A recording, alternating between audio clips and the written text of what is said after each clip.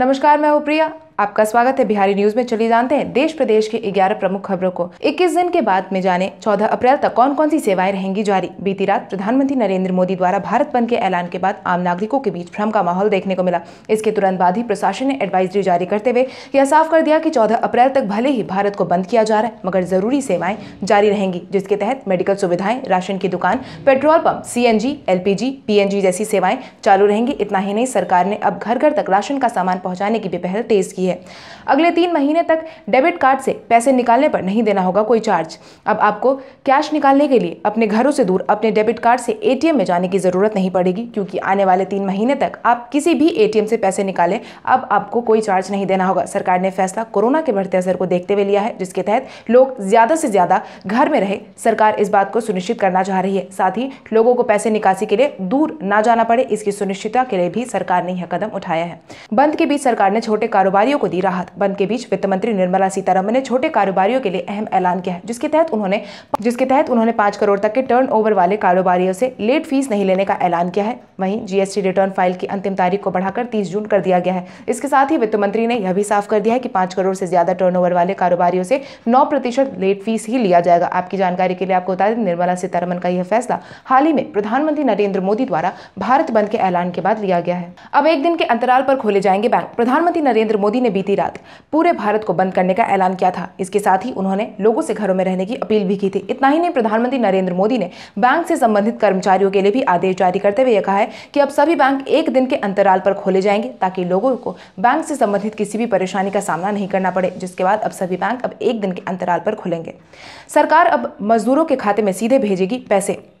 Corona के फैलते असर को देखते हुए पूरे भारत में बंद का ऐलान किया गया है। वहीं इस बंद में सबसे ज़्यादा प्रभावित होने वाले दिहाड़ी मजदूरों के लिए सरकार ने अहम ऐलान किया है। केंद्रीय श्रम मंत्री संतोष गंगवार ने सभी राज्यों के मुख्यमंत्री और केंद्र शासित प्रदेश के उपराज्यपाल को पत्र लिखकर एक एडवाइजरी जारी की है, जिसके तहत दिहाड़ी मजदूरों के खातों में सीधे पैसे भिजवाने की अपील की है।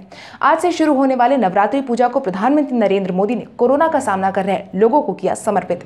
कोरोना के असर के बीच आज से चैत नवरात्रि की शुरुआत हो चुकी है। वहीं बीते दिन प्रधानमंत्री नरेंद्र मोदी ने समूचे भारत भारत को बंद करने का ऐलान जारी किया है। वहीं आज नवरात्रि के शुभ अवसर पर प्रधानमंत्री नरेंद्र मोदी ने आज का दिन कोरोना से जूझ रहे और कोरोना से लोगों को बचा रहे चिकित्सकों स्वास्थ्य कर्मी और पुलिस कर्मियों को यह नवरात्र समर्पित किया है। इसके लिए प्रधानमंत्री नरेंद्र मोदी ने अपने ट्विटर हैंडल से ट्वीट करते हुए इन सभी लोगों का धन्यवाद व्यक्त किया है और सभी भारतवासियों से हिम्मत और संयम के साथ काम करने की अपील की है। सोशल डिस्टेंसिंग के लिए इन किराना दुकानदारों ने निकाला अनोखा रास्ता। कोरोना के फैलते असर को देखते हुए गुजरात के एक किराना दुकान ने सोशल डिस्टेंसिंग को बढ़ावा देने के लिए एक अनोखा रास्ता निकाला जिसका वीडियो सोशल मीडिया पर काफ़ी तेज़ी से ट्रेंड हो रहा है। वीडियो में देखा जा रहा है कि लोग ज़मीन पर कुछ कुछ दूरी पर लिखे नंबर पर खड़े दिखाई दे रहे हैं और अपनी बारी आने का इंतज़ार कर रहे हैं। इसके साथ ही कर्नाटक में किराना की दुकान से बाहर लोग सोशल डिस्टेंसिंग के लिए कुछ कुछ दूरी पर सर्कल में दिखाई दे रहे हैं।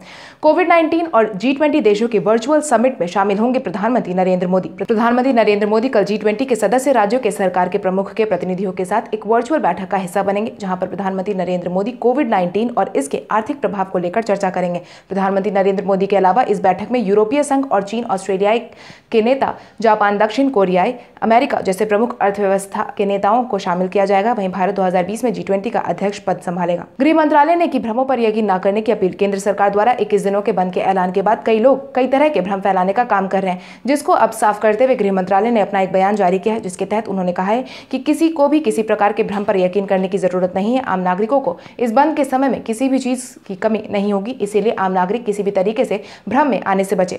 भारत में हेल्थ इंफ्रास्ट्रक्चर को विकसित करने के लिए पंद्रह हज़ार करोड़ रुपए का किया गया प्रावधान। कोरोना के बढ़ते असर के बीच केंद्र सरकार ने समूचे देश में हेल्थ इंफ्रास्ट्रक्चर को विकसित करने के लिए पंद्रह हज़ार करोड़ का प्रावधान जारी किया है, जिसकी जानकारी प्रधानमंत्री नरेंद्र मोदी ने खुद अपने ट्विटर हैंडल से दी है। जिसके तहत प्रधानमंत्री नरेंद्र मोदी ने कहा है कि वैश्विक परेशानी बनी कोरोना के बढ़ते असर को देखते हुए भारत में हेल्थ इंफ्रास्ट्रक्चर को मज़बूत किया जाएगा, जिसमें कोरोना से जुड़ी testing facility personal protective equipment isolation bed और अन्य ज़रूरी साधनों की संख्या तेज़ी से बढ़ाई जाएगी। कोरोना की स्थिति से निकलने के लिए भारत की मदद के लिए चीन हुआ तैयार। चीन से निकले कोरोना ने इस समय पूरी दुनिया में की मुश्किलें बढ़ा रखी है। हालाँकि अब चीन कोरोना की स्थिति से निकलने के लिए भारत की मदद करने के लिए तैयार हो गया है, जिसके लिए हाल ही में भारत और चीन के बीच में एक अहम चर्चा हुई है, जो कि भारतीय विदेश मंत्री एस जयशंकर और चीन के विदेश मंत्री वांग यी के बीच में हुई है। वहीं विदेश मंत्री जयशंकर ने बाद में ट्विटर पर लिखा है कि हम कोरोना से खिलाफ अपने द्विपक्षीय सहयोग को और मज़बूत बनाएँगे। आज के लिए बस इतना ही। देश प्रदेश की खबरों से जुड़े रहने के लिए हमारे यूट्यूब चैनल को सब्सक्राइब करें और बेल आइकन दबाना ना भूलें। धन्यवाद।